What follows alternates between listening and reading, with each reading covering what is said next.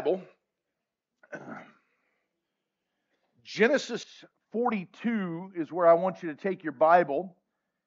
Maybe hold that spot and go to Romans 8:28. I'm going to be in both of those spots today and as you look up on the screen, you will see the title of our message this morning which is Living the 710 Split. Now, I've preached this title before. Uh, I've revamped this message for sure.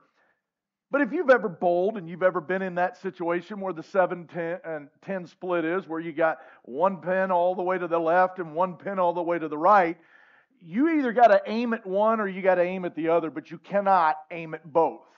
And, you know, if you're lucky, you hit that 10 pin just right and it bounces off the back, comes out, takes out the 7, and you get your spare. But you still have to aim at one or the other. And what we're going to do today is talk about our problems and how we approach those problems. And who here doesn't have problems? You know, I mean, obviously, if you if you're if you're here today and your life is hunky dory and everything's perfect, you probably should take the stage then because uh, that's not my life. Matter of fact, Job says it this way: "Man is born of a woman is a few days and full of trouble." Now, who couldn't relate to that? Like, seriously, how many people can go, yeah, I really don't know what he means? I mean, it's our life, right? I mean, when we look at things and about our problems, what's your problem? I mean, is it financial? I mean, given the current state of the economy, I'm sure even if you're doing good, you're probably not doing as good as you were. Health, maybe that's your number one issue. You got health problems. Maybe it's marriage. Maybe it's a divorce. Maybe it's a divorce on the verge. Maybe you got marriage issues. Maybe it's your kids. Everybody can see how they drive you nuts. Maybe it's your parents. you know, maybe it's just your family in general. Maybe it's a divorce. Maybe it's a job. Maybe your house and your car is falling apart. Maybe you have mental uh, situations that you're going through. But who here can say, I don't fit in any of those categories? That we all have problems that come to our life. The question isn't whether we're going to have problems, you're going to have them. But the question is, how do we deal with those problems? And we've got to ask ourselves, and I'll quote Captain Jack is the, prob- the problem is not the problem, the problem is your attitude about the problem. And that's what I really want to get down to. That we're all going to have problems. We're all going to face issues. And I don't care if you call it a problem, an issue, a situation. My Uncle Frank used to say, I don't have problems, I have situations. You can name it whatever you want to. Drama. You ever notice that certain people's lives are even worse than others? And if you boil it down, it's how we're dealing with those problems that escalate them or exaggerate those problems in our life. That's, that's the reason why some people can go through life having the exact same problems and not have so much the stress because of how they deal with them. And as Christians, with a perfect book in front of us, we should be able to know how to deal with these problems and know how to handle them and understand what they're there for. You know, the book of Proverbs 4:23 says it this way. Now, I want you I want you to think a little bit here this morning.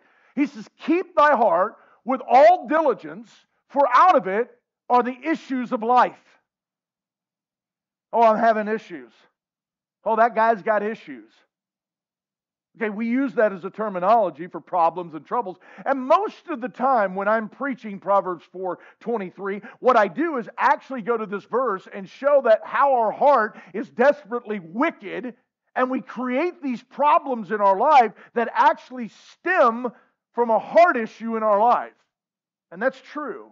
But I also want you to look at it from a different angle this morning that maybe God's saying, no, the issues of life are from your heart attitude towards your problems. In other words, how am I actually dealing with those marital issues, those house issues, those family issues, those health issues, those financial issues. Maybe my attitude will determine how that works out. And maybe if I change my attitude, even though the problem doesn't change, the circumstances does. And it's just all how we approach. That's why the Bible says in Proverbs 23 7, as a man thinketh in his heart, so is he. And so when somebody says, Well, I've got all this drama in my life, maybe you're the drama. Well, all these problems are coming at me. Maybe you're the problem. Maybe the problem isn't the problem. Maybe your attitude towards the problem is creating a bigger problem. No, I'm, I'm, I'm not here to decide that. That's, that's between you and the Lord. But I think it'd be good for every one of us to do some self inventory into our life and look at how we are and realize hey, how my reaction to this action may be creating bigger problems in my life. You know, Proverbs 25, 28. We live in a society that the anxiety level, and this is a fact, you can go online and look at, the anxiety level in the average teenager is equal to that of the average mental patient in a sane asylum in the 1950s in this country. And most of it stems because what we have taught people is to let your feelings out. Now, feelings are great, emotions are great. Listen, there's nothing wrong with having emotions. God gave us emotions. It's through those emotions that we show love to other people and kindness and, and all that and, and righteous indignation. All that's great. But emotions that are not bridled create problems. Watch this. Proverbs 25, 28. He that hath no rule over his own spirit. Do you understand? If you understand body, soul, and spirit, your emotions stem from your spirit. And what happens is, is when you get that out of control, and we've got massive anger from people or massive uh, sorrow where people are just crying all the time. At some point, guys, emotion needs to get checked you and I need to be able to look at our emotions and say, You don't get a vote in this. The problem at my situation or at my hand that I have to deal with cannot be dealt with from an emotional standpoint. It needs to be done from a biblical, logical standpoint. How do I deal with this issue? Because if, if I just let my emotions go, what does it say? I'm like a city without walls. I have no protection. And this is why we see people in our society today losing their ever loving minds. And you're going, what is this all about? Listen, guys, I get it. We get bad breaks in life. You know, you guys have heard my story growing up. I could use that and sit in a corner and just cry all the time, or use that same problems I grew up with as motivation to make sure I do better for the next generation coming up. It's the same way with you. Whatever your bad situation is, we allow history to come back into our life and deal with current problems. And instead of going, let me control that. Well, I'm mad at my dad. Uh, okay, you probably may, you may even have a reason to be mad. But you better learn to get that under control and deal with these logical situations from a biblical standpoint. Now, here's a guy that I like to listen to on his podcast. Some of you may know him. Uh, this is Jocko. He he uh, he goes around now. He's about 53, I think he is 52, somewhere in there. He was the leader of SEAL Team 3 in Iraq. So Chris Kyle worked under him. And now he you can see him on Joe Rogan. If I need motivation and I feel like I'm getting lazy in life, I listen to this guy because afterwards I, it just gets me rolling. And so he has this statement, and, and you're going to play that from here, or yeah, you go ahead and play it. I want you to listen to how he looks at problems, and then I'm going to discuss that and go into the scripture with it. Go ahead. Now, notice, he's not saying it's good that those things happened. But what he's saying is the mindset to approach those problems has to start with good. Okay, good. I'll, I'll, I'll, deal with it this way. Good. I'll deal with it that way. Now, now, you may think it's a little crazy, but just hang on. I'm going to scripture with this. Chuck Swindoll, who was a pastor in California for years and then moved to um, Frisco, uh, Texas, and had a massive church, he had this statement, and I've used it for years. It says, The longer I live, the more I realize the impact of attitude on my life. Attitude to me is more important than facts. It's more important than the past, than education, than money, than circumstances, than failures, than successes, than what other people think or say or do. It is more important than appearance, giftedness, or skill.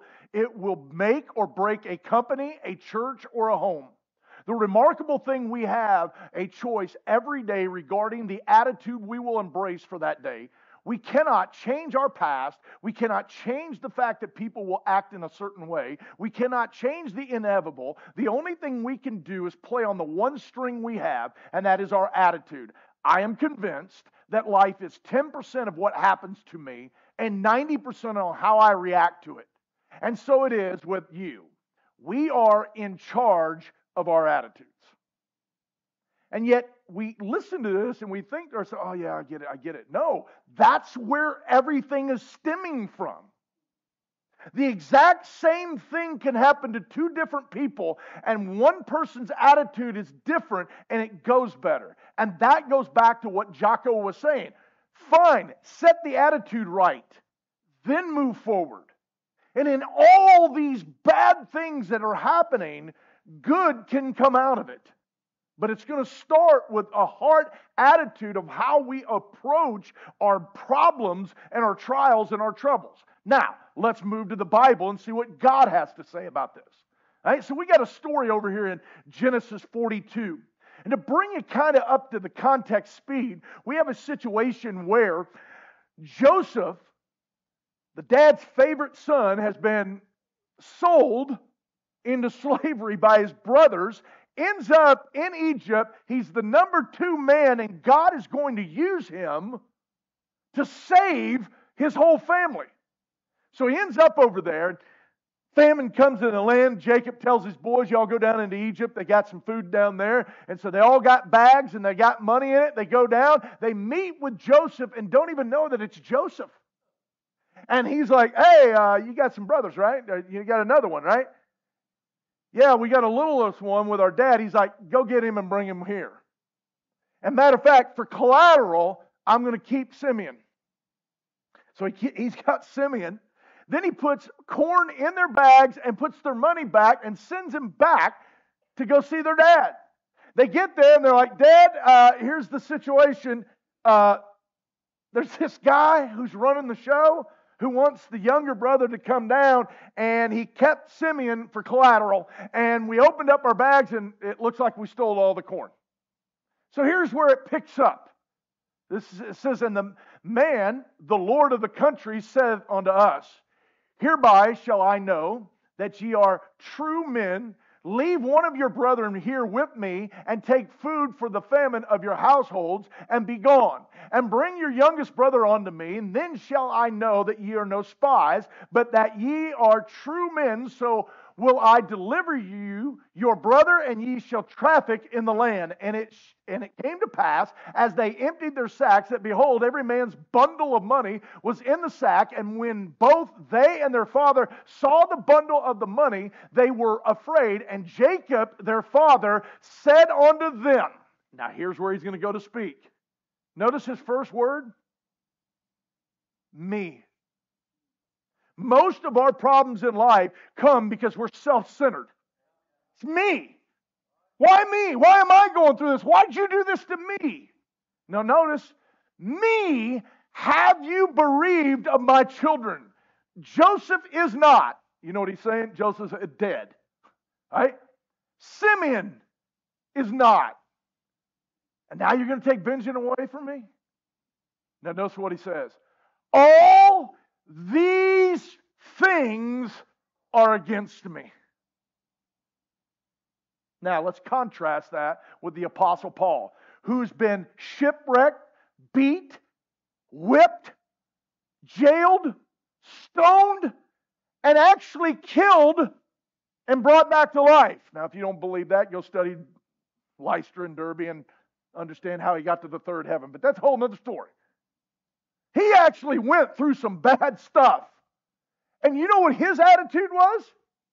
It's all working for the good. Now, notice this.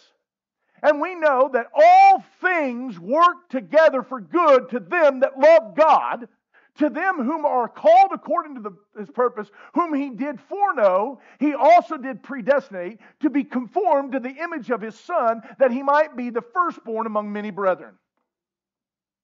Here's Paul that has went through some horrible stuff who could legitimately say, "Oh, I'm against, all these things are against me," but he's going, "No, this is all working out. This is all going to go good." He's the original Jocko. Oh, beat on? Good. Jailed? Good. Because what he was doing was taking that same concept that, oh, I'm shoved in jail? Good. Now I'm going to witness to somebody here. Oh, I can't go into that city? Good. I'll go to this city over here and witness to somebody. He always found the good in it. Jacob, on the other hand, is going, All these things are against me. And yet, this is what I want to do. I want to take the rest of our time to ask you when it comes to your problems, are you Jacob or are you Paul? Are you thinking that everything is against you in life? Listen, I've been there. I'm not, I'm not up here pointing a finger going, you you guys just don't got it figured out like I do. I live in the same boat as you do. And then it seems to, when problems come, it seems to be piling on, and you're like, why? Now. James says it this way, and you guys have heard me say this for years. You know, a lot of Pentecostal churches run around here going, Well, how you know you're really walking in the Spirit is you'll speak in an unknown tongue. And the Bible doesn't say that. What the Bible says is how you know you're really walking with God is when you can count it all joy when you fall into diverse temptations. In other words, different problems come to your life and you still are joyful through it all. God says, Now you know what it means to walk in the Spirit of God. Then he says, Listen, all these problems that happen to you in verse 2, verse 3 says, Know this, that the trying of your faith worketh patience. Now, Justin just spent seven weeks to talk about this stuff. That in order to get patience, you, what, what, what step comes before patience? Oh, good night. Glad he ain't here to hear this. It's temptation, being tempted, right? Temperance. Okay? So the bottom line is in order to get those patience, we got to go through the trials. And God says, Yeah, that's that's that's what I'm I'm sending all those problems your way for. Because I'm trying to temper you. I'm trying to make you into the conformity of looking like my son. That's what Romans 8 29 is talking about. Look at verse 4. But let patience have her perfect work, that ye may be perfect and entire, wanting nothing. Well, how do we get to a place of patience in our life? Trials, problems, troubles. No one learns patience when life is going great. No one learns to be tempered when everything's going awesome. Now, first Peter says it this way because you know when troubles come our way, the first question we ask is why? Why is this happening to me? Okay, Paul said or Peter says it this way, Beloved, think it not strange concerning the fiery trial which is to try you, as though some strange thing is happening to you. So when these problems hit you this week, and they'll come, don't sit around and go, well, that's weird. I thought if I came to Jesus, everything would be great. There's people that actually preach that trash, by the way, who have never read church history. Don't come to Jesus to get a better life. Come to Jesus to get a better eternity. Because your life may stink. All right, now watch. Here's where we're going to start. Number one, if you're a if you're a Jacob, you're focusing on the problems. If you're a Paul, you're focusing on the promises. Watch this. Here he is. He says, All these things, and you know what the things are? All the problems. His focus was all these things are against me. His focus is on the problems. But you go to Paul and he says, Know that all things work together for the good. His focus is on the good. And so maybe your approach should change to the problems. And quit focusing on the problems and start focusing on the promises that God is trying to, in verse 29 of that same chapter, have you pre or have you conformed to the image of his son. Now, notice here, 1 Peter 1:17, that the trial of your faith being much more precious than of gold that perisheth, though it be tried in the fire, might be found unto praise, honor, and glorying at the appearing of Jesus Christ. So one day when you get to the judgment seat of Christ, your whole world's going to be unveiled, and you're going to be judged, and you're not going to be judged for your sin that was judged on Calvary. What you're going to be judged for is your work in the Lord and your walk within the Lord. And a lot of our walk stinks because we don't approach it the right way. And God's saying, listen, all those problems I put you through, I did it for my own glory.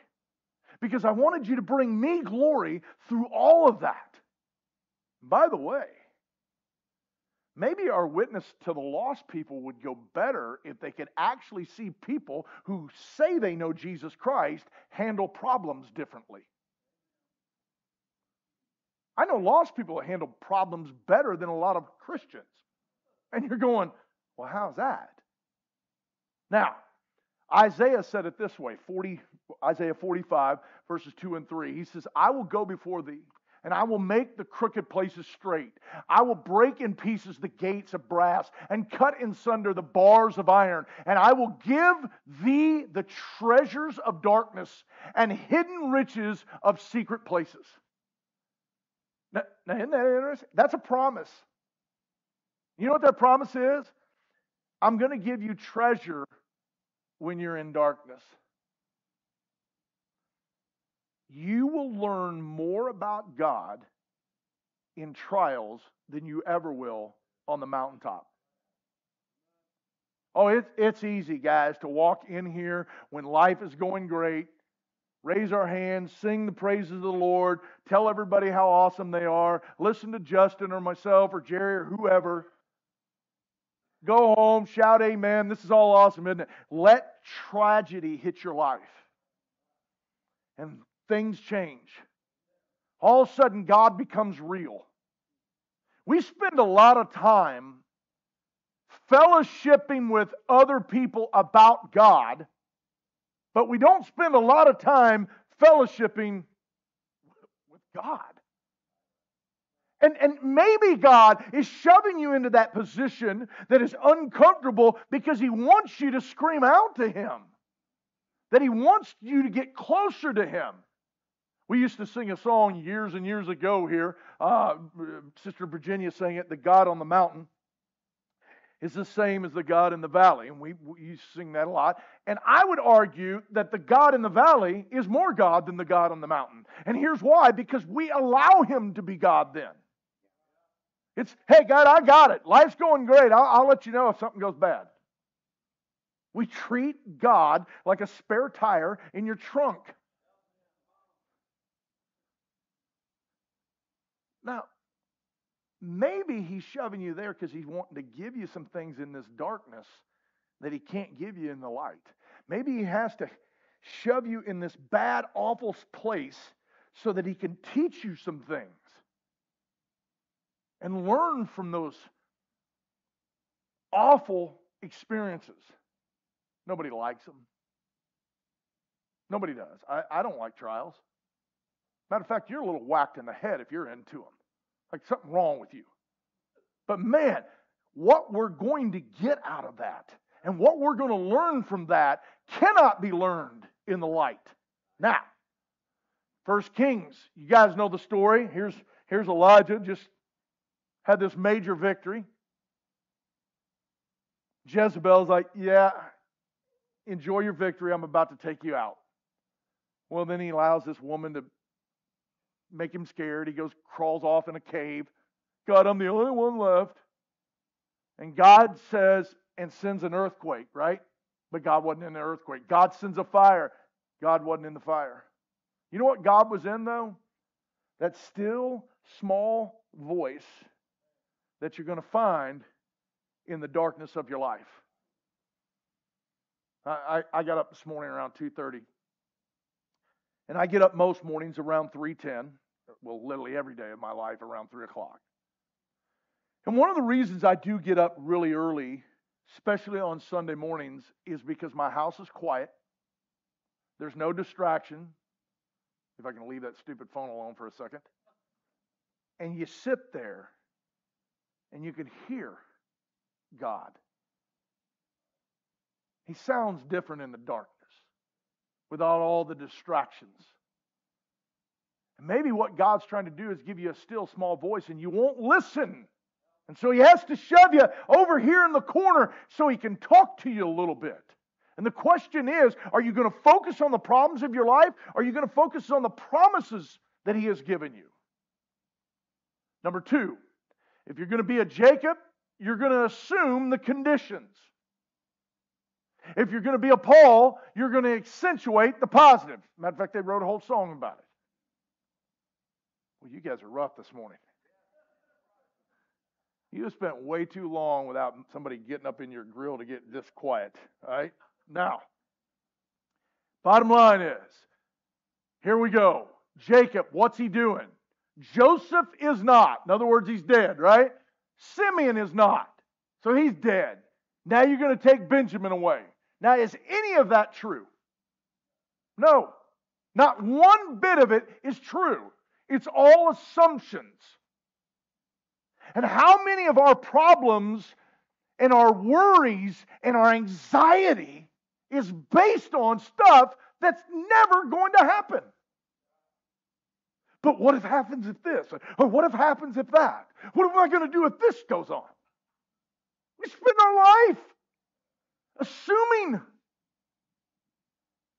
And for the most part, most of those worries don't even happen. I, I literally heard a lady tell Adrian Rogers one time, Hey, I know that worrying works because 85% of the stuff I worry about never happens. Now let that sink in. And how often do we do that? And we're just, you know, we're living in this situation where it's just assuming all this other stuff where Paul's saying, hey, we know that this is all working for the good. He's finding the positive in it. No different than what Jocko was doing when he was saying, okay, we didn't get this, good, then we can learn from it. That happened, fine, then I can grow from that. Look for the positive in your problems. Now, Job 13, 15 says, Though he slay me, yet will I trust in him. Is that your attitude when life ain't going well? Do you really trust the Lord? And think about the positives of what he's done in your life? We just sing that song, He hath done great things. And every time we sing it, my mind literally goes, Yeah, we ain't seen nothing yet. The best is yet to come. Now, that should be in the back of our minds so that we know no matter how bad the problem is, there's better days coming. Psalms 57, 1 through 3. Be merciful unto me, O God. Be merciful unto me, for my soul trusteth in thee. Yea, in the shadow of thy wings will I make my refuge until these calamities be overpassed. And I will cry unto God, my, the Most High unto God that performeth all things for me. Jacob's like, oh, this is against me. And actually, what God was doing was doing every step he thought was against him for his own good. Matter of fact, if God didn't do that, he's going to die. Yet in that moment, he can't see it. Number three, looking to blame versus looking for the blessing. Now, this is going to come natural for everybody in here. But I'm going to tell you, for me personally, I deal with this a lot at work. As soon as something goes bad, my first my first inclination is, all right, who's to blame? Even if it's my fault, I've got to find a like a an outlet to go, well, yeah, that's my fault, but it's because you did this. This is how I live. And you go, not me. You sure? Watch this. You ever went back to, to Genesis? By the way, we'll read this in just a second. You go to Genesis here. God shows up, walk with Adam in the cool of the day. Adam's hiding. Adam, where are you at? I'm hiding. Why are you hiding? I'm naked. Who told you you were naked? Did you eat of that fruit I told you not to eat? Well, it wasn't me, God. It was that woman that you gave me. He blames God, or he blames the woman first, then he blames God. Now, every man in here understands how that works. Something goes bad, who are you going to blame first? It's got to be my wife's fault. And yet, that's our natural inclination. And if you go back to what Jacob said, here's what he said Wherefore dealt ye so ill with me as to tell the men whether ye had yet a brother? In other words, why didn't you lie? You're the reason why we're in this situation. Not knowing that God is working all this behind the scenes. So here he is, looking to blame somebody, not looking for a blessing. Paul's saying, listen, we know that all things work together for good to them that love the Lord. What Paul's looking for in the problem is where's the blessing? Because we know it's all working for the good. Jacob's going, all right, who am I blaming? Now, how's that sitting with you? How do you handle problems? How much of that is landing on you going, yeah, you're right. I'm like Jacob. I, I look to blame. It's just, it's a natural reaction. Do you know what the first step to getting saved is? To admit you're, that you're wrong. Because you can't get saved blaming others. You are in a situation where you are separated from a holy God from your own sinful nature. You have nobody to blame but yourself. And so God wants you to own it. That's all He wants you to do own that thing. Now, let me ask you something. I just went over these problems, right? Now, I don't know which one's yours or how many of them you got, but can I ask you? Many of those problems are actually your own fault? I mean, you look at the financial. Most of the financial problems we have in life is our own fault. You're going to get mad, but I don't really care. Most of our health problems are our own fault. Marriage, kids, parents, jobs the anxiety you go through. Most of it is right there in your face, and maybe God's shoving you through that stuff to make you own some stuff. Got financial problems? Good. Maybe you'll learn through these financial problems. Maybe you will take an approach. You got health problems? Good. Maybe you take a new approach and eat different, exercise more. Maybe stop doing other stuff. Maybe in all this stuff, you just take the approach and go, You're right, God, it's me. I'll own that. Maybe the problem goes away once you own it. Number four, being self centered versus saint orientated. All right, watch this. These problems on Jacob, if you're a Jacob, your focus is me, me, me, me. We have a cat at the house who literally sounds like that. Me, me, me. That's her. And she's very selfish, as most cats are. But, but by the way, so are most humans. And we live in this situation where it's, oh, it's me. All these things are against me. All these problems are, are against me. And Paul, notice how Paul says this, because I want you to see this verse. We know that all things work together for the good to them. Notice he didn't say all things are working together for my own good. Now, now watch this. We have a tendency to go to Romans 8:28 and claim it and say, "Well, all these problems I'm going through, I know this, God's going to work it out for my good." That's not what the verse says. He says it's going to work out for them. So the question is maybe God's going to shove me through the sewer for you to get a blessing out of it. Some of you'd probably like to see that. So I was at Grace years ago, and Larry Brown was preaching a message called Cruel Crosses. And he was talking about how his wife was pregnant with twins and lost both of them. And they couldn't understand. They're young Christians, they, they, they're serving the Lord, and they're like, know, here we are. We're going to church. We're doing the right thing. We're tithing. We're, we're, we're serving the Lord. Why would God do that to us?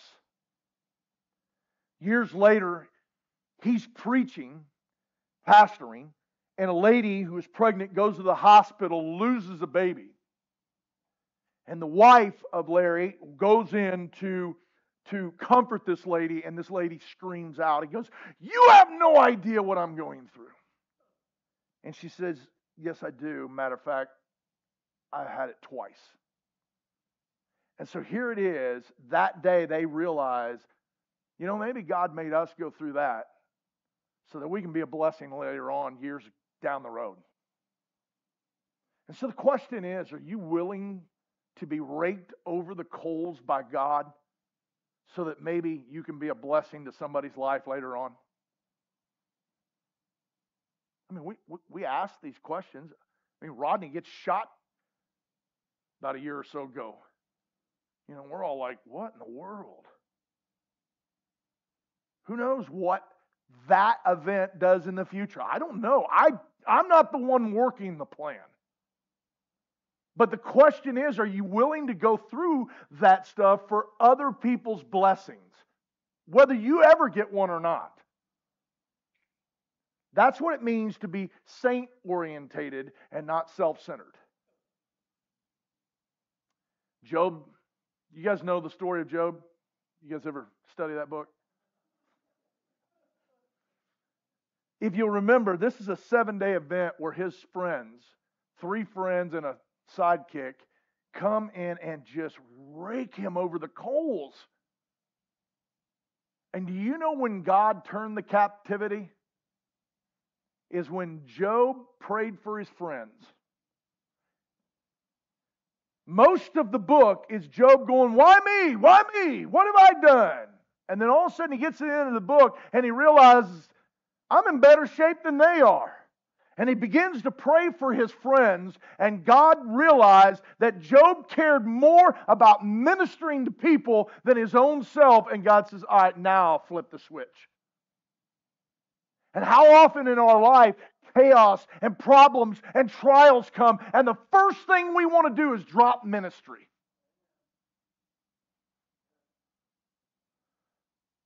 Don't let anything stand in the way of you in ministry because whatever that is, God can remove. And maybe it's God shoving you through this because what He wants you to do is get off of being self centered and getting focused on other people. Do you, do you know how much better you feel when you do stuff for other people than you do yourself? This is why this is why shopping does not last.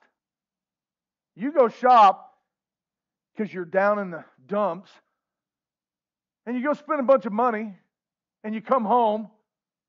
How long does that high last? But yet if you do something for other people, it's just amazing how much that that does so much better in our life because we're more focused on somebody else than ourselves. That's why the Bible talks about preferring one another over ourselves. Closing it up, watch this. Number five. Having self solutions is what Jacob did versus realizing the sanctification process.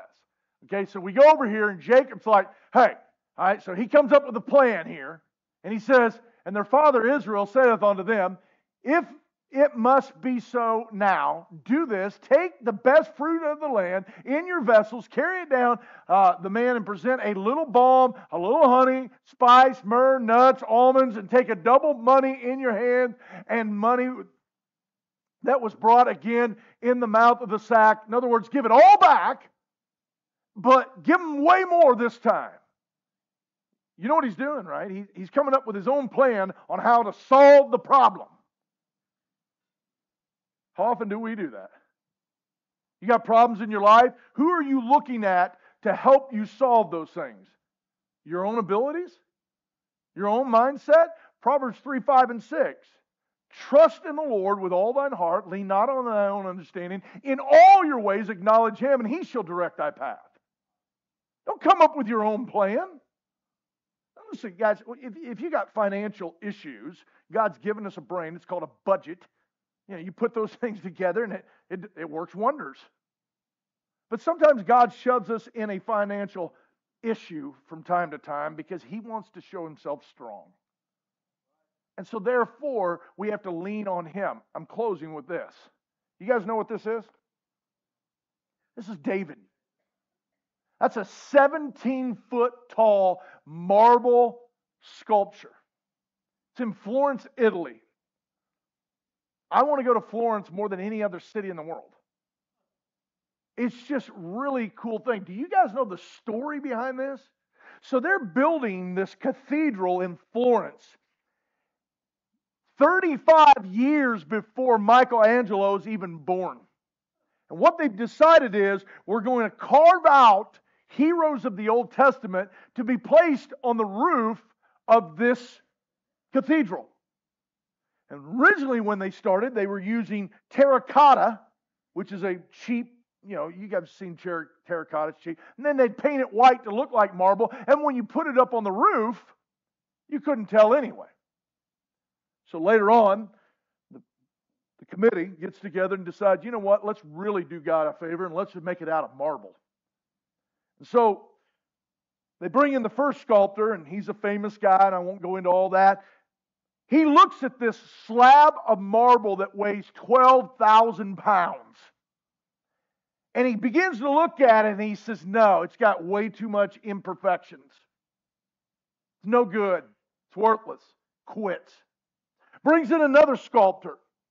He comes, he looks at it, same thing. No, the, the, the, the, impurities in the stone, it's no good, it's imperfect. I need something better to work with. So they shoved this 12,000 pound slab of marble out in this courtyard, junkyard area, and it sits there for 35 years. All of a sudden, Michelangelo gets it, and he begins to carve what is considered the greatest sculptor, sculpture in history. The detail in it is so fine which is interesting because it was going to go on top of the church and you'd have never saw the detail. But you know what made Michelangelo, the artist, to be able to do it, and not the other two?